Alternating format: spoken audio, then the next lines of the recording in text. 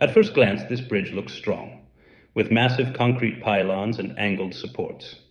The bridge will made for four lanes of traffic on a height of 55 meters. But there's more going on inside. The arms and deck were made from pre-stressed concrete. That means steel cables were placed inside the concrete under tension, even before any traffic touched the bridge. This makes the structure stronger and helps it resist cracking. But it comes with a cost. If those steel cables start to corrode, the entire system can lose its strength without any visible warning. And here's the issue.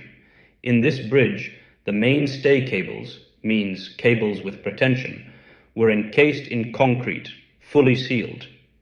That made them almost impossible to inspect until it was too late. Here you can really see the damage. The road deck didn't just crack, it completely broke off. That usually means something failed very suddenly. Most likely one of the main cables snapped. Once that happened, the deck had nothing left to hold it. This is what engineers call progressive collapse. One small failure causes a total collapse. This was not just a technical issue. People lived right under this bridge with a span of 1,200 meters. When it collapsed, it hit homes and businesses. Whole families had to leave their houses forever. This shows that structure and society are always connected.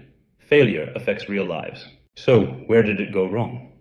The core issue was hidden corrosion in the pre-stressed cables. These cables were sealed inside concrete near the anchoring zones see the arrow, and that concrete cracked over time, letting in water. Steel rusts, it expands, and slowly weakens the structure from the inside.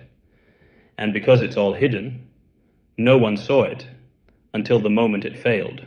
Add to that, this bridge had no backup system, no redundancy. If one element failed, the rest had no chance.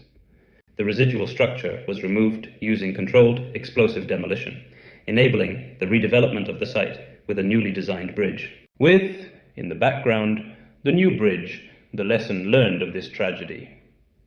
Pre-stressed concrete can be powerful, but it's unforgiving when ignored. Without proper monitoring and maintenance, even strong structures can suddenly collapse. Thanks for watching, and don't forget to subscribe.